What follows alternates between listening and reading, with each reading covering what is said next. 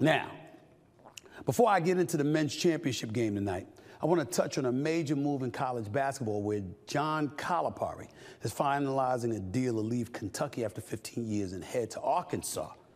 Calipari is set to replace Eric Musselman, who left to take the USC job last week. University of Southern California, that is. Coach Cal would be leaving Kentucky after leading the Wildcats to four Final Fours in his first six seasons and a national title in 2012. He went to the Elite Eight in 2017 and 2019, but only has one tournament victory since. Ladies and gentlemen, this is a personal thing for me because I've known John Calipari since the mid 90s. I worked at the Philadelphia Inquirer. One of my first jobs was covering Temple University basketball, led by the late, great John Chaney, God rest his soul. And John Calipari was coaching at UMass when he had Lou Roe and Marcus Camby and Mike Williams and those brothers. John Calipari is a coach that I have the utmost respect for. His resume is pretty damn great. He took UMass to a Final Four. He took Memphis, led by Derrick Rose, to a national championship game. And if it wasn't for Mario Chalmers hitting a three and tying the game, sending it into overtime before Memphis ran out of gas, he might have won a national championship in Memphis. And then from there, he went to the University of Kentucky, where in 2012, led by Anthony Davis, he won a national title. Here's the reality, though. John Calipari has been a head coach in the NCAA Division One men's basketball for 32 years. He's got one title. Once in 32 years. Now, I understand it's hard to get two, it's hard to get three, it's hard to get four, stuff like that, like the Mike Krzyzewskis, the Roy Williams, the Bill Selfs of the world, people like that.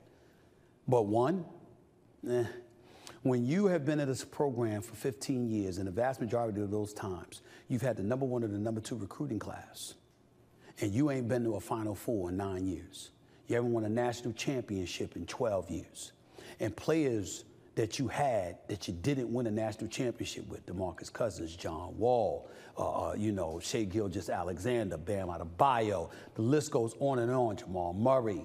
So many great names coming through your programs. And you don't have the national title to show for it, that's not great. But that's not the be all end all because in the Cinderella kind of atmosphere like is the NCAA and March Madness, anything can happen. We get that. But over the last four years, you missed the NCAA tournament, you got bounced out in the first round twice, and you got to the second round once and you lost there and you failed to get to a Sweet 16 in any of those years. You've got the top recruiting class in the nation. That can't happen. You're doing it at the University of Kentucky. It cannot happen. It cannot happen. And that's what has happened to John Calipari. And so, what do I think of all of this? I think he's running away from Kentucky. People might disagree with that. I don't give a damn. He's running away from Kentucky because Kentucky is looking at you and they're saying, damn, you've had enough time. Maybe it's time to move on from you. We can get anybody to pay half the price of the $18.5 million we're giving you, the $33 million buyout. We can get somebody for less than that that can have us home in the second round or the first round of the NCAA tournament.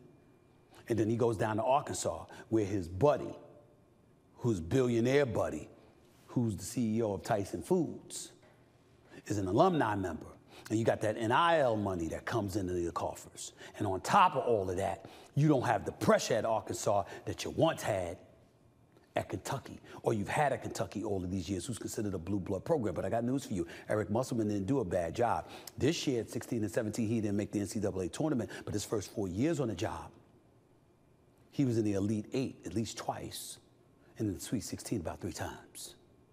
He's done a damn good job with that program before he's now departed for USC. So I got news for you. You're going to have some pressure there.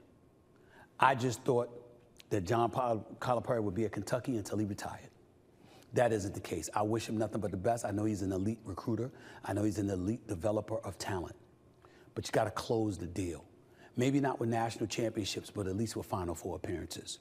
We haven't been seeing that from John Calipari. And Kentucky knew it, and they were ready to move on. And we can't blame them. Even though they weren't going to push him out the door because they didn't want to give him the 33 million, clearly he felt unwanted there and was more wanted at Arkansas.